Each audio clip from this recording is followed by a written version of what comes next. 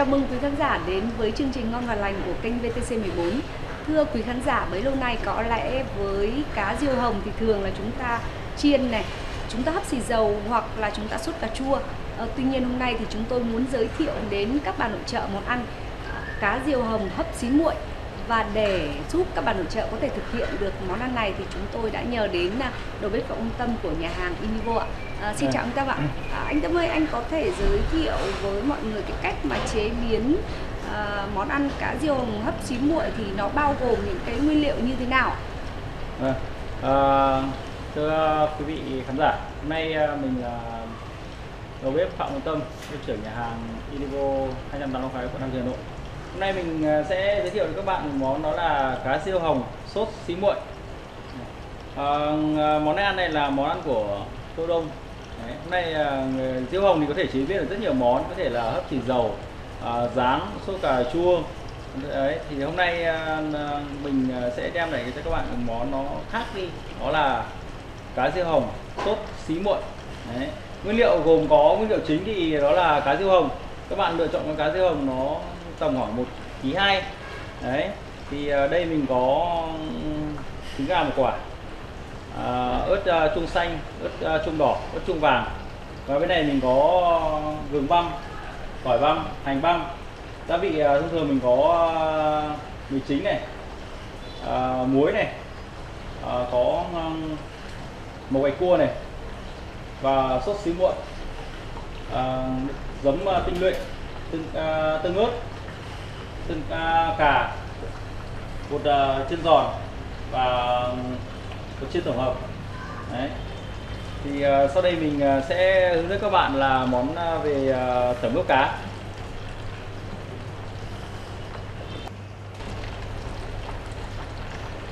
Đấy, mình uh, sẽ à, cá mình sẽ sử dụng uh, bằng uh, muối để uh, thứ nhất là để uh, vừa ờ, tạo thêm vị đậm đà này và, và để khử của được vị tanh muối bằng mì chính. Chúng ta sẽ rắc đều lên hai mặt của cá.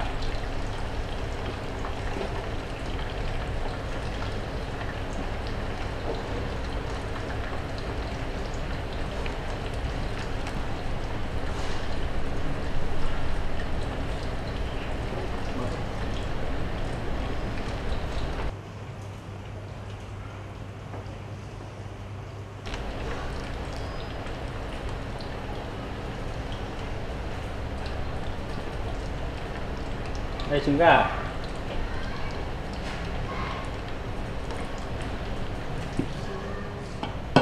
Trứng gà chúng ta đập, chúng ta cho bát, chúng ta để dùng à, tay ngoái đều ra. Trứng gà để xoăn mình cá để chúng ta tí nữa ra khi mà tẩm bột vào để nó sẽ nó sẽ dính được bột vào con cá. Nó chiên để lên để con cá sẽ được vàng hơn, trông hấp dẫn hơn.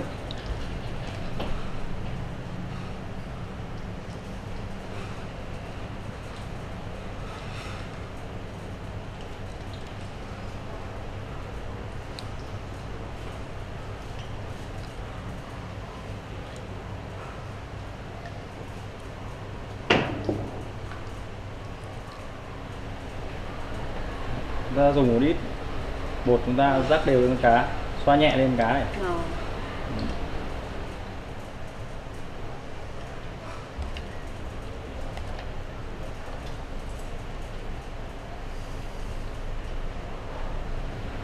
Thì chúng ta chiên lên thì để thứ nhất là ra nó, nó cái bột này nó sẽ bám lớp bột bột thật nhẹ ở ngoài để tí chúng ta vẫn giữ được cái uh, gia vị ở trong người con uh, con cá khi ta chiên mà khi nó không bị uh, nó, nó không bị bung ra ngoài tí là tạo được độ vàng.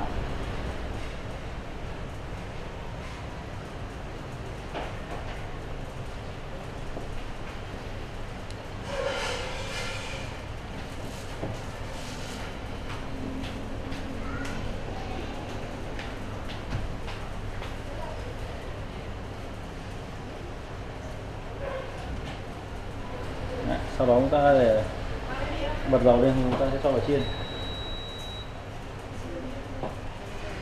Vào trong kia chiên đúng không?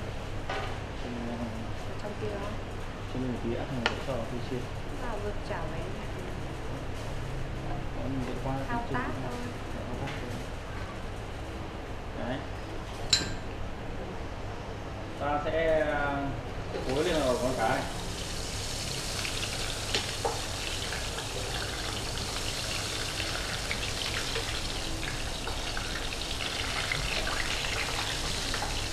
đấy thì là chúng ta phải chế biến nó như thế nào?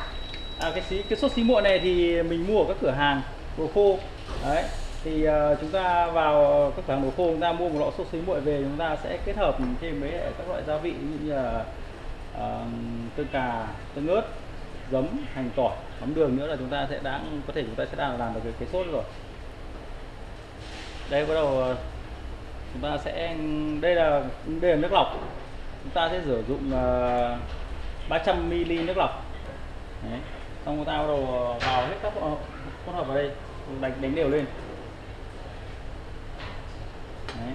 đây là bắt đầu là 200 g tương ớt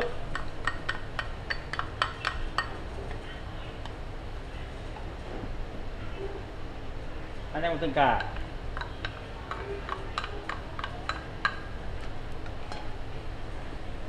thấy là để làm cái món ăn này cũng có khá nhiều các Vâng. loại gia vị đúng không đây ạ? là chúng ta sử dụng ờ, giấm tinh luyện nhé thì cái độ chua độ chua sẽ ổn hơn đấy dùng uh, 100 uh, ml uh, giấm tinh luyện này đấy. đây là đây là cái chị vừa hỏi đây là sốt xí muội Vâng. và sốt xí muội này thì ờ, chúng ta cho khoảng 400 g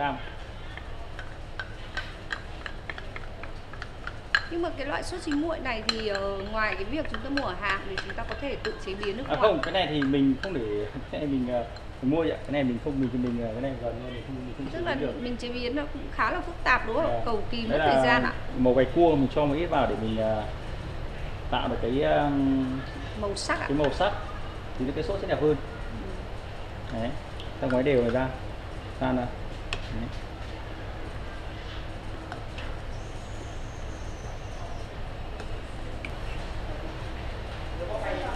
Là đến khi là khi mà sơ chế thì chúng ta sử à, trang trí rồi các thứ thì chúng ta cần những cái loại rau củ quả như thế nào? Và Ờ, tại đây- sao chúng ta chọn những cái loại này? À, mình ờ, chọn loại này để tí nữa mình sẽ làm sốt mình sẽ trộn nhồi cá thì nó sẽ tạo nên là rất nhiều màu sắc. Thì như là nó sẽ tạo ra được những cái ờ, cho món ăn của mình nó sẽ thêm phần hấp dẫn lên Đấy, à, tất cả phần này chúng ta sẽ thái hạt liệu nhỏ. Lại À, Đấy.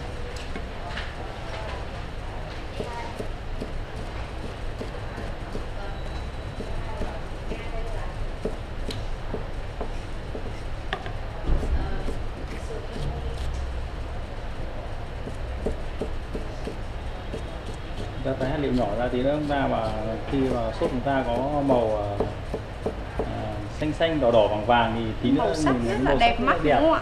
Đấy.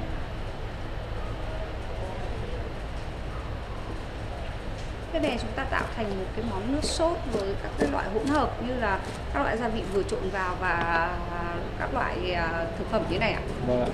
Thì nó mình sẽ xào củ quả thơm lên À. chúng ta sẽ cho cái cái nước hỗn hợp chúng ta đánh vào xong rồi chúng ta sẽ để tạo lên cái, cái uh, nước sốt nó sẽ được uh, sánh và đậm đặc hơn. À, tí nữa mình có sử dụng uh, sử dụng một chút uh, bột uh, năng mình sẽ pha ra để mình uh, cho thêm vào một chút để tạo thêm cái độ sánh cho sốt.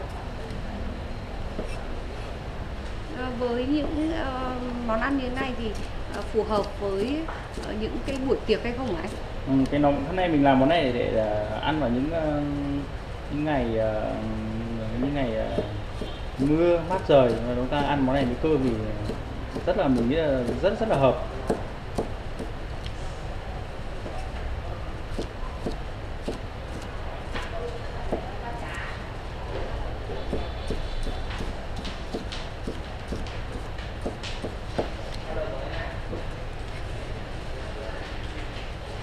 Đó. đã sơ chế phần củ quả xong rồi chúng ta sẽ quay sang phần chảo lên để chúng ta làm cái sốt xí muội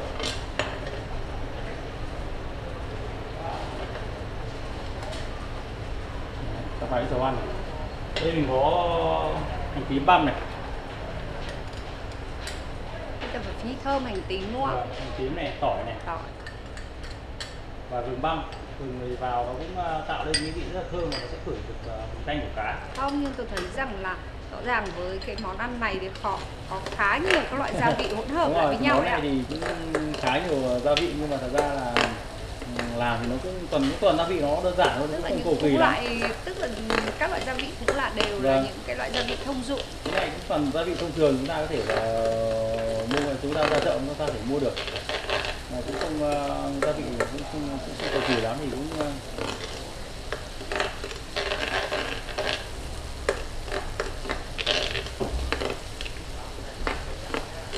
bắt đầu thấy dậy mùi rồi đấy. Chúng ta phi uh, hành tím này tỏi này gừng này thơm lên này. Chúng ta cho tất cái hỗn hợp. Mình vừa đánh lên rồi lên cho vào Ừm.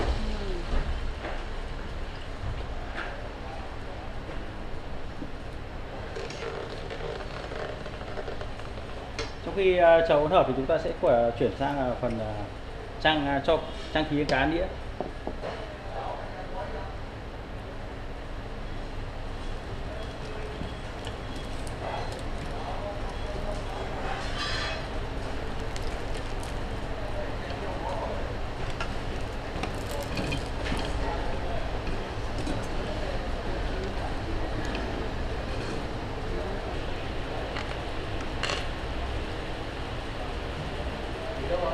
Đây, sắc rất là đẹp và bắt mắt đúng không ạ? Vâng, nhìn thì rất là hấp dẫn. Vậy thì cái cái nước sốt này nó có cái vị gì hả anh? À, nước sốt này có vị ờ, chua chua ngọt ngọt đấy. Này lại có cái vị ờ, thanh thanh của cái vị ờ, xí muội. Tôi thấy rằng là những cái bông hoa anh làm khá là cầu kỳ đấy ạ. Vâng cái này thì nó cũng trông thì thôi nhưng mà thật ra là rất là rất là đơn giản chị ạ. Vâng. ta dùng quả ớt sừng nhỏ người ta đúc cây hành vào ta chẻ hai đầu ngâm vào nước này nó sẽ tan nó sẽ nở. Vậy là chúng ờ, ta đã hoàn thành ờ, món ờ, cá riêu hồng sốt xí muội. Chị nhìn thấy không? Màu sắc rất là đẹp này. Rất là bắt mắt. Đúng rồi. Đấy. À, thưa quý khán giả, sau khi chế biến thì món cá diều hồng sốt xí muội đã hoàn thành. À, nhìn thì món cá này khá là bắt mắt thì sau đây thì chúng tôi mời quý vị và các bạn cùng thử xem món cá này nó có cái vị như thế nào nhé. À, em ờ, mời chị ờ, Rồi, à, xin mời.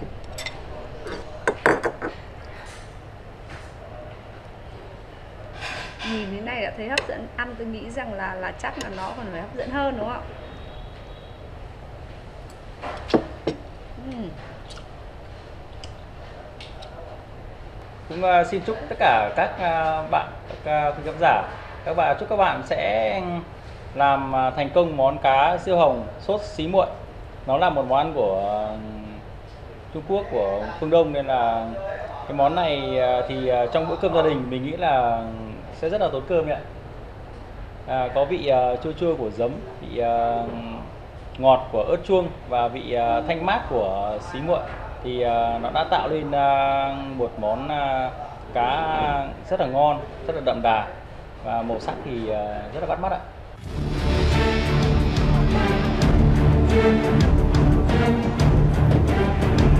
Thank